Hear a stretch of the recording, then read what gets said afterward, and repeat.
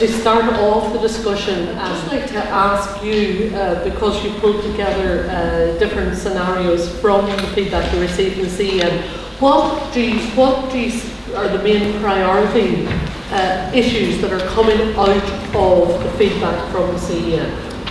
Well, people can have a look through them and we've actually touched on a few of them earlier, but just I'll highlight the main points and then maybe go into a bit more detail of the other ones that have come up a lot with the members. Uh, one of the main things that came up was the challenges uh, that are faced by community educators in terms of this instrumental view of what education is for and then the, the focus on the whole skills agenda and how can you maintain community education within that environment. The second one um, was about the need for continuous professional development, which I think we've addressed earlier in the, the discussions of really how we can maintain that social action model of community education. Um, the other points that were raised was in terms of new local education training boards. And I know this actually came up with Tara's submission, if I remember correctly, and how they can be truly representative of women's community education and community education as a whole. Um, and then I know other people are going to be talking about different areas, but ones that I really wanted to focus on was the challenges in the BTEI funding process. Okay, can I come back to that in a minute, um, uh, Neve. But just, I suppose, in relation to the uh, this idea of the social action model of community education and where it fits in this instrumental overview of what's happening, especially in the SOLAS process at the moment. And some of that discussion came up in the continuous professional development discussion this morning. Bríd, maybe I'd ask you as, as an academic and as a person who has actually always promoted this idea of social action. Like, how, where would you see, how would you see that issue uh, developing in the light of the, the, the, big developments that are happening at the moment? Well, I suppose one of the things about uh, working in a, a, university is that um, we really are living in a sort of like a struggle in terms of what education ought to be for. So the same questions are being raised uh, in, higher education as we are talking about in community education. And I suppose to me, the, um, uh, one of the most important challenges is to uh, recognise our allies. That is that who is it that is working towards the same end and how can we cooperate with them? And I really do mean cooperate. I don't mean being co-opted, you know. I think the idea of, you know, taking somebody's ways of working and so on and just sort of changing them into something else for another purpose is something that we have to guard against. But we can still really talk very powerfully about who, whose side are we on and who else is on this side. So I think that uh, we always have to reiterate that community education isn't just about the, as we were saying earlier on, the first three levels of FETAC, or indeed that it's confined to different levels. The community education goes right across the board in terms of the different levels that uh, we can operate at. Because, I mean, if you kind of think of what is community education in terms of critical thinking and social analysis and so on, these are all things that we will bring to every single aspect of education and we embody them in ourselves as educators and we can inspire the people that we're working with to also see things in these ways. So uh, uh, just stop there for a minute and maybe put, oh, just go to transfer over to Liz here for a minute because uh, working in An Cosán, Liz, and I um, listened to you during the summer at an event that we were both at together where you were talking about the importance of qualifications and access to job uh, fronts and all the rest, but that uh, community education could do this but in a different kind of way. I was interested in that because sometimes uh, the, the discourses are put against one another. there, you can either have yeah. holistic community yeah. education or, or you can have education. It's in practical terms for your for your um, learners. Yeah. Uh, what's your view on that? I tell you, it's very interesting because we all know that the funding is available out there if you're going to do skills and training. And so we draw on that funding and we develop partnerships to ensure that uh, uh, men from the local community can access skills training. And I've no issue about that. But the issue becomes one of how you do it and why you do it and what you do in that process. And I absolutely believe that you can bring all Bríd is talking about in terms of critical analysis, uh, uh, um, social action, uh, active citizenship, right to the heart of ECDL training. That's right. Because if you ask right. the question of your students, why are you doing this course? Why have you had to come here to do this course? What's it about? You're drawing out immediately and going into the, a much deeper process that can really support uh, uh, and challenge so that people begin to question their own participation as tutors are questioning their own engagement in skills training.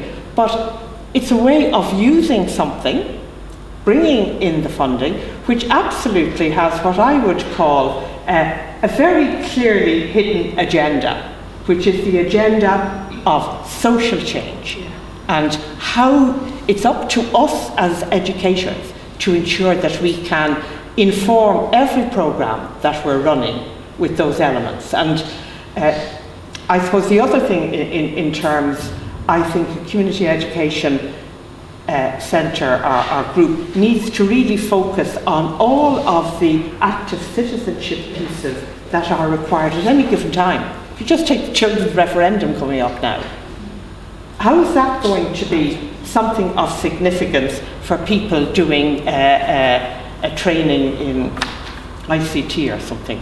Okay, uh, Liz, thank you for that. On that, uh, I mean, would you agree with Liz about that, that it's possible? I mean, I know that you have a very passionate view of the social action model, and, and again, the challenge for us is to um, make sure that that doesn't get lost in the middle of the, the labour market thing. So, when Liz is talking about one way in practical terms, what would your. Um, yeah, I mean, I, I, absolutely agree with what both Liz and, and Bríd are saying, and, and I'm really, I suppose, particularly interested in this kind of dichotomy that's drawn between higher education and community education in this sense that you know FETAC is for community this for the community education sector and HETAC and universities well that's for for everyone else uh, you know that really worries me because um, ultimately I think what we are doing is we're directing people towards certain employment opportunities if we are going to look at employment and also um, another thing we're doing I suppose is that I was reading um, I'm sure lots of people have read uh, stuff by Freire, but I was reading a, a, thing last week, an article in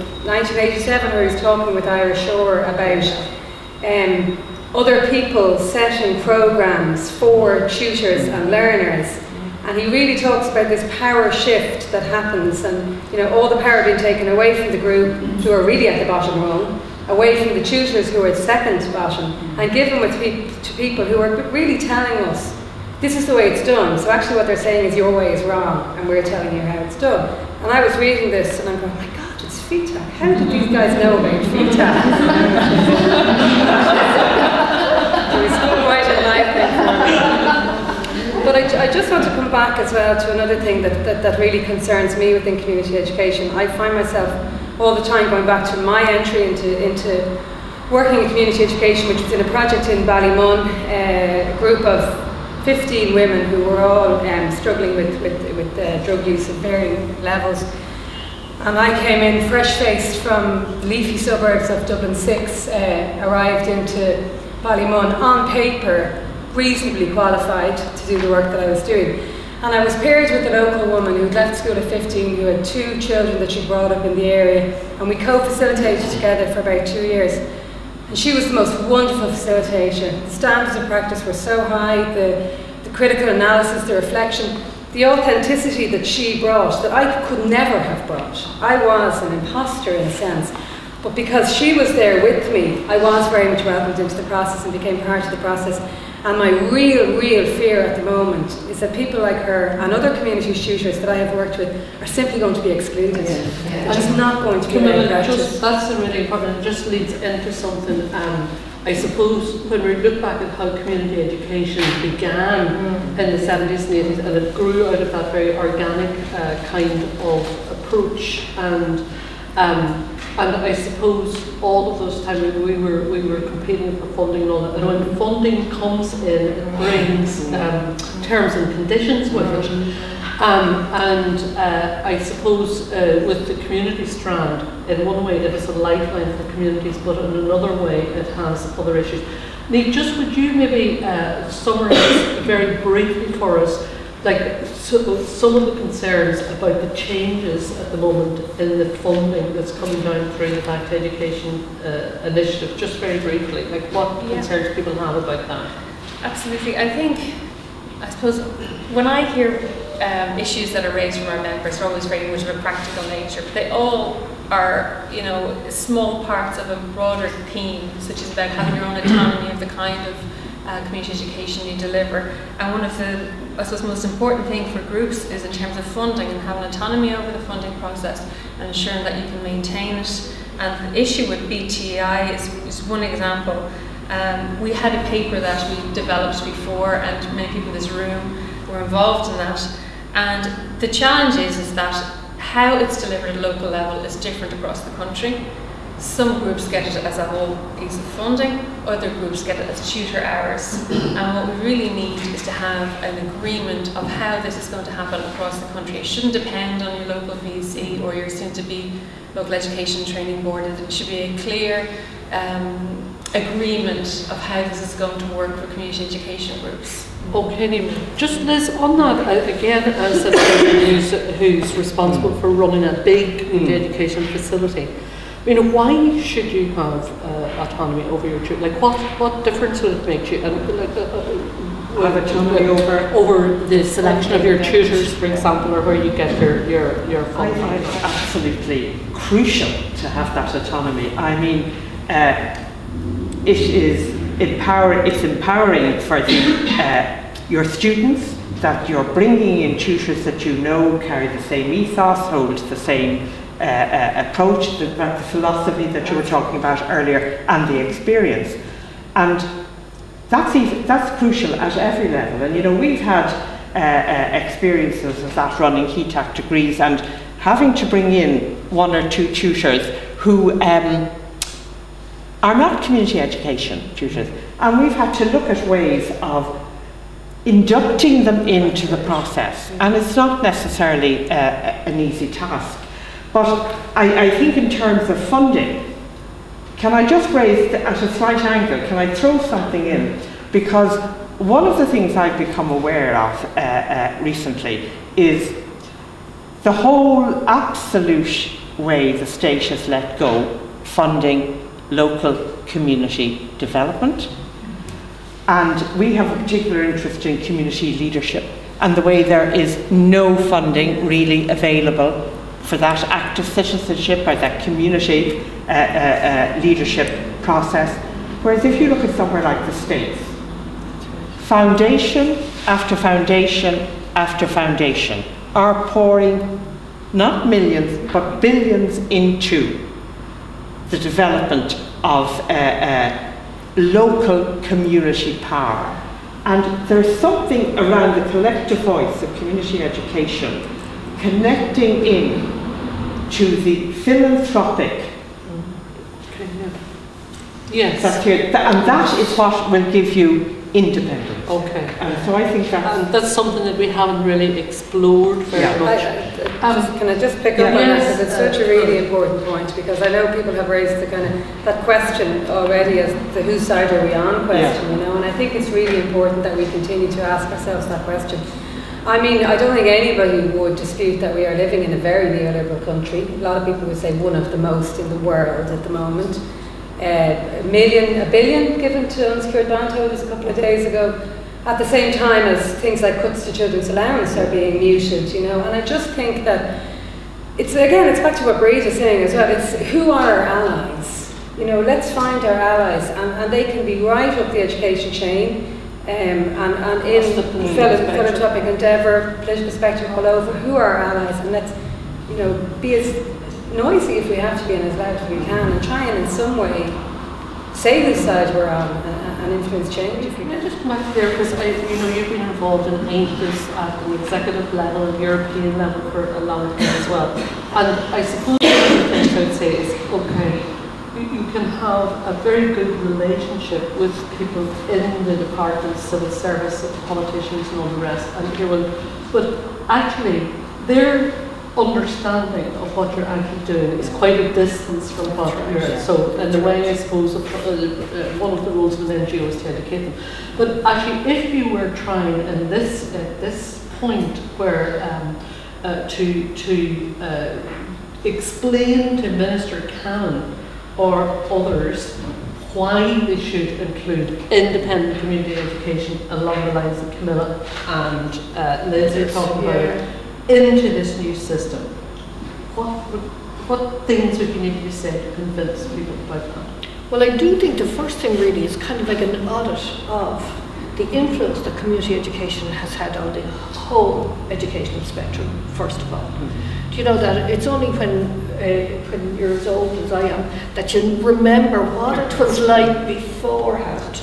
Um, you know, that uh, the kind of uh, uh, approaches and what we might call subjects or areas that community education developed. You know that, and these are have been influential. They've been influential right across the board. If you kind of think of even the way children in primary school learn now, in comparison to row upon row upon row, that's all almost like developed in community education to know that circles are much more facilitative than anything else. So I think that's the first thing. An audit of the influence of community education across the entire educational spectrum. Now it didn't obviously do it on its own, but again it's kind of like recognising the allies. Who was it that kind of developed circle time, for example, in, in primary school? But anyway, that's the first thing. I think the second thing is to really uh, um, sort of recognise the, the full spectrum of the economy. That is, that the economy isn't just to do with skills and jobs. That really has to do, if they uh, want to see it in terms, in those neoliberal terms, that the economy is the foundation of the well-being in society. We can provide them with the, the wherewithal to fulfill that well-being. I think the new area that has to really be developed is the idea of the collectivity, and I think that that is something that the neoliberal model will never really understand, and that's, I think, something new that we have to uh, sort of promote. That collective um, well-being in fact, that the well-being of the nation doesn't depend on individuals doing okay. Yeah. It, Yes. it needs entire communities do doing So we don't, want to do a Mitt Romney on it then? No Mitt Romney. Just on that, like, I I think an interesting thing for us as an NGO in championing community education, we've managed to get across the message that community education is the kind of education that extends opportunities to people who wouldn't mm. maybe perhaps come into other other spaces. The downside of that is that uh, the, um, the power makers and the policy makers equate that with qualifications framework and say, okay, you can work at level, this came up before, at levels one to three, uh, because you are, um, you can attract people in, you don't have to put pressure on them for things, okay. But after that, they have to move into other sectors. Now, this, I think this is a big issue that's coming up for, again, for providers. Liz, again, as a, an organisation that provides seven. level seven, well, okay, the second, yeah, I thought you were supposed to. No, Well, no, in, no. in, in Not yet. partnership, not yet, Exactly, you're doing next year. you can see, But Yeah. that's a Yeah. progression route Yeah. It- could come it- Oh, it will. but Yeah. you're ready to do Yeah. the third level Yeah. thing, okay. Yeah. Like, how, how are you going to uh, square the circle on that one? I think that is uh, uh, one of our, one of, not just An Cosán's challenges, but I think that's a real challenge for the sector, that we have absolutely got uh, uh, to strip away the illusions that the civil servants, I believe, have about what community education can do, can provide, should provide. Because sometimes I hear a should, you should only be doing this.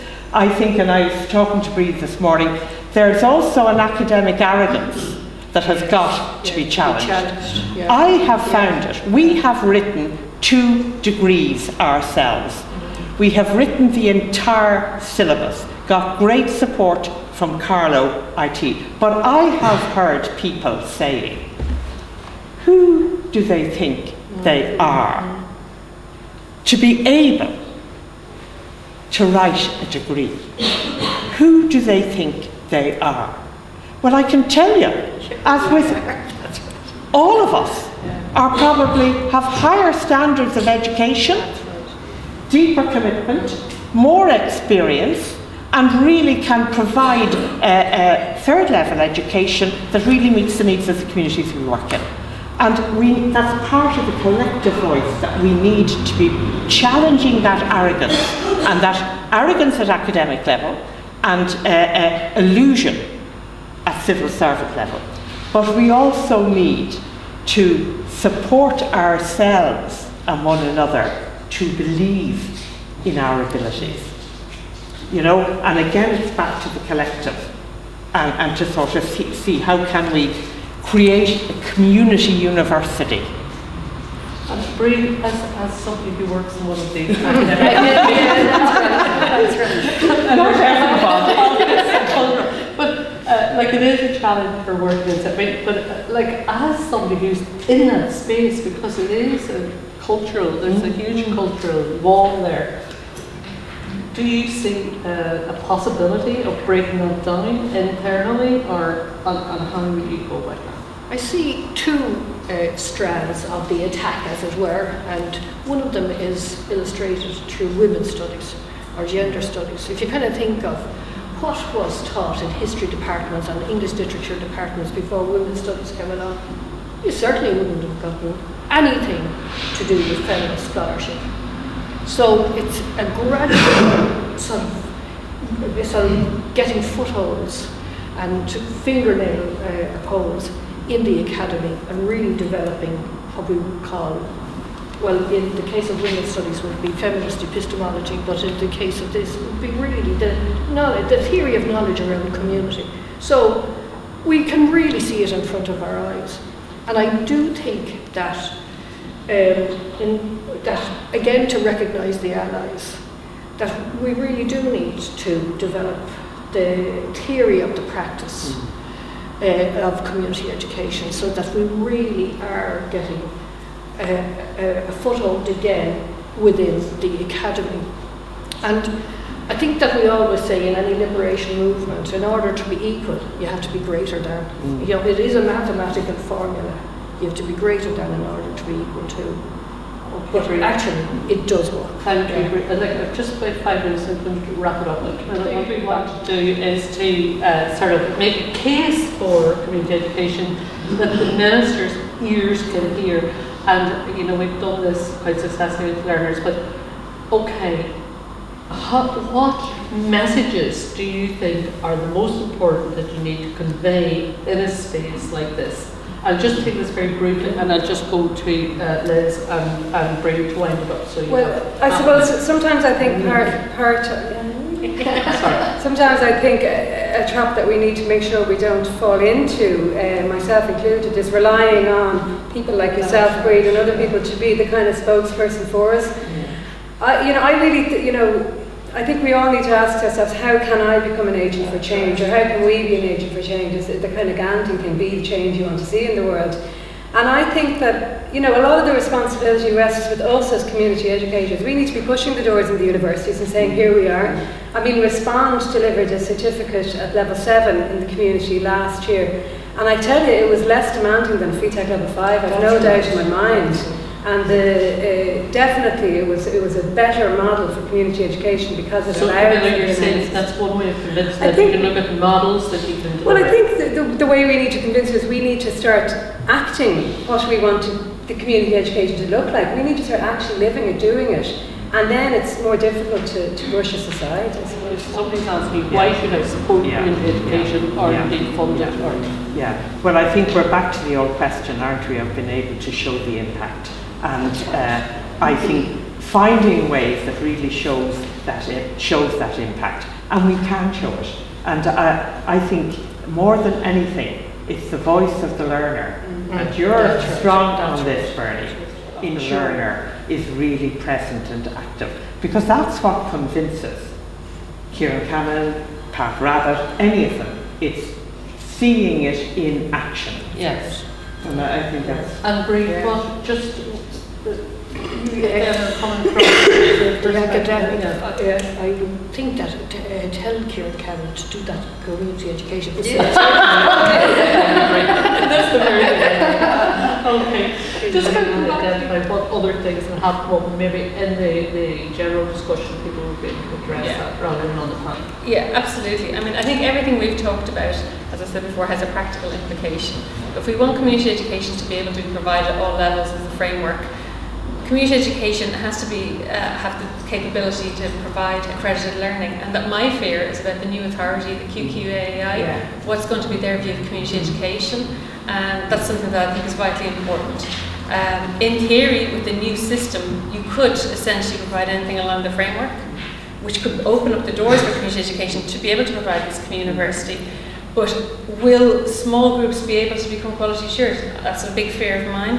And in terms of being able to provide that kind of, um, of learning, they have to have control over their tutors, which has implications. They have to have the funding to be able to decide who their tutors are.